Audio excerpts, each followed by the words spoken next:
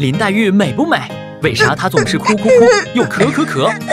林徽因一代国民女神，才气和美貌都那么耀眼，早早离世又是为啥？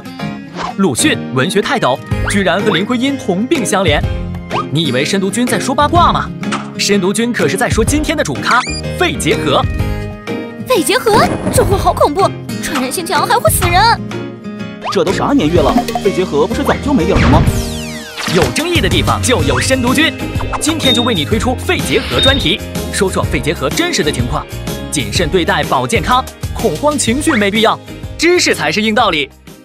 据 WHO 世界卫生组织统计，二零一六年全球有约一千万新发肺结核患者，我国至少有八十五万的新发肺结核患者，相当于每一万人中就有六个人是新发肺结核患者。深读君，看来肺结核这恶魔还在祸害人间呀。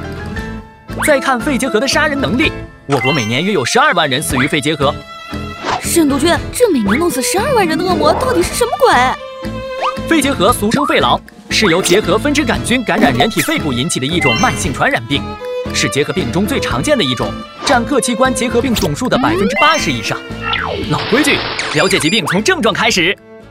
这咳嗽都俩月了，肺都要被我咳出来了。咳嗽、咳痰是肺结核的常见症状。早期咳嗽较轻，仅为干咳或有少许黏痰；后期可出现咳嗽加剧，痰量增多或浓痰。天啦噜，痰里居然有血丝！突然咳嗽不止，大口大口吐血，我这是要挂了吗？卡血也是肺结核的常见症状，多在咳嗽后发生，常表现为血痰，严重时可出现大卡血。胸腔里像装有碎玻璃，一呼一吸都扎得胸痛，打个嗝都疼哭。肺结核还可出现胸痛症状，表现为胸壁刺痛感，可随呼吸或咳嗽加重。半个月了，一到下午就低烧。午后潮热也是肺结核常见症状，多为低热，三十七点四摄氏度到三十八摄氏度，于午后及傍晚出现，凌晨或次日即可消退，持续两周以上。睡觉狂出汗，被子都湿透了。盗汗也是肺结核症状之一，表现为睡时出汗。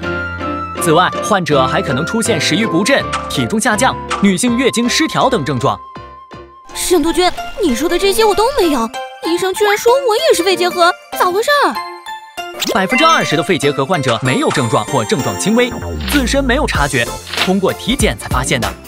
说完症状，咱再看肺结核怎么作妖。得病后越来越瘦，走两步都累，啥事都不能干，成了废人。肺结核患者会出现消瘦、乏力。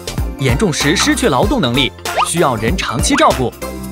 别人玩的是亲亲抱抱举高高，我男票已经跑了很久了。肺结核具有一定的传染性，不但影响工作感情，还使患者遭受歧视，导致自卑心理的产生。肺结核作践患者的身体，蹂躏患者的心灵，想摆脱它却真心不容易。每天吃药像吃饭，何时才能摆脱这药罐子？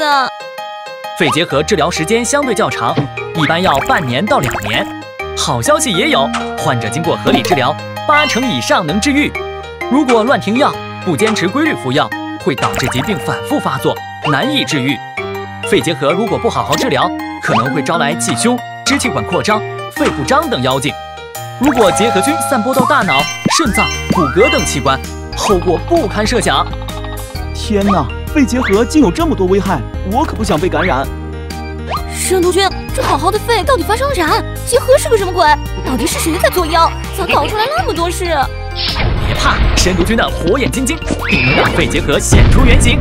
下集，深毒君就从结核菌说起，看看它到底是如何侵入你的身体，作践你的肺。